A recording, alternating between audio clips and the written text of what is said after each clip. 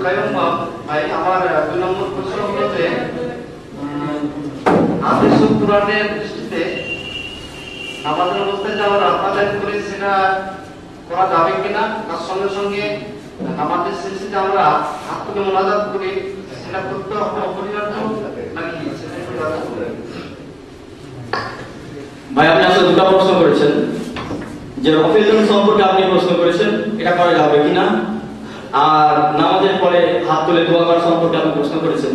আপনি আমি আপনার একটা প্রশ্নের উত্তর দেবো। যেহেতু আপনি পরে আবার সময় পেলে আবার আপনি প্রশ্ন করবেন কারণ অন্য ভাইদের সুযোগ দিতে হবে। এখানে মেইন বিষয় যেটা যেটা রকেতন করতে হবে কিনা আপনাদেরকে আমি জিজ্ঞেস করি যে পবিত্র কোরআনের পরে সব চাইতে সহি গ্রন্থ কোনটি? সহি বুখারী।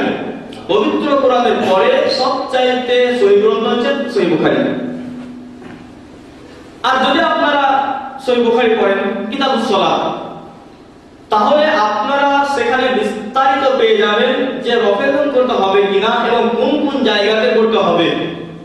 সেখানে বিস্তারিত আলোচনা আপনারা পেয়ে যাবেন। এই জন্য আমি আপনাদেরকে অনুরোধ করব যে আলহামদুলিল্লাহ, বিশেষ করে আজকে সেই যুগ নেই, যে যুগে মাত্র ভারতবর্ষে একটা বোখারি ছিল, সেই যুগ নেই আছে আজকে প্রায় সব এত বোখারির মানে সংখ্যা বেশি হয়ে গিয়েছে যে আজকে আমাদের পকেটে পকেটে বোখারি। কোনো সমস্যা নেই। আপনাকে আমি অনুরোধ করব যে আপনি বিশেষ করে সহি বোখারি, কিতাব সলাৎ, এখানে শুধু একজনকে অনুরোধ করা নয়, বরঞ্চ আপনাদের সকলকে আমার অনুরোধ। একজনের মাধ্যম দিয়ে সবাইকে অনুরোধ যে আপনারা সহি বোখারির কিতাব সলাৎ নামাজের অধ্যায়, নামাজের অধ্যায়টা অবশ্যই পড়বেন এবং নিজের নামাজের সঙ্গে মিলিয়ে দেখবেন আমরা যে আকারে নামাজ পড়ছি নামাজ রাসূল আলাইহি সাল্লাম পড়েছেন কিনা?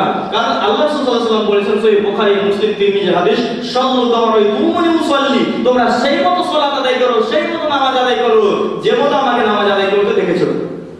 তাহলে কেমন করে রাসূল সাল্লাম নামাজ পড়তেন এটা যদি দেখতে চান, তাহলে আপনারা দেখুন সহিহ বুখারীর নামাজ অধ্যায়টা।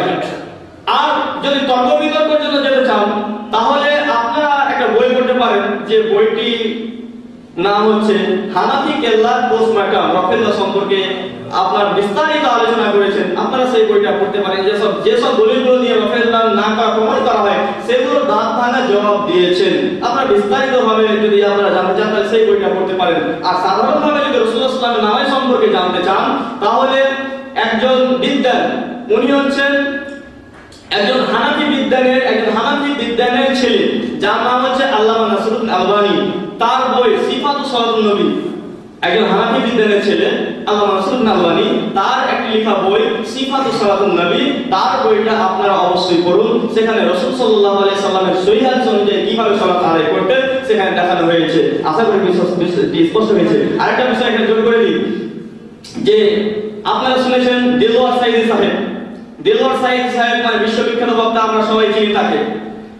তিনি বলছেন যে 60 বছর ধরে যে নামাজ আদায় করেছি রাসূল সাল্লাল্লাহু আলাইহি সাল্লামের নামাজের তালিকা না না হওয়ার হওয়ার কারণে সেটা বাতিল হয়ে গেছে আজকে নামাজ আমি পেরেছি এবং নতুন করে নামাজ শিখেছি।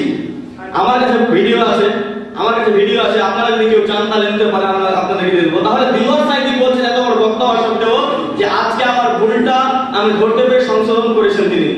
তাহলে আজকে আমাদের প্রত্যেককে যদি দিলওয়ার সাইদির মতো একজন সাইদ যদি সে মানে নিজের নামাজকে চেঞ্জ করতে পারে, যখন জানতে পারলেন কোরআন এবং সহিহ হাদিসের নামাজ এটা তাহলে ভাই আপনাদের আমাদের নামাজ চেঞ্জ করতে অবশ্য মানে অসুবিধা কোথায় আছে? আসুন না, আমরা বিশেষ করে বুখারী নামাজের জায়গা পড়ি। হানাফি বিদ্যান, তার ছেলে, আল্লাহ রাসূলুল্লাহ যে সিফাত সালাতুন নবী, সেই বইটা পড়ে আমরা আমার নামাজকে ঠিক করি। আশা করি স্পষ্ট হয়েছে।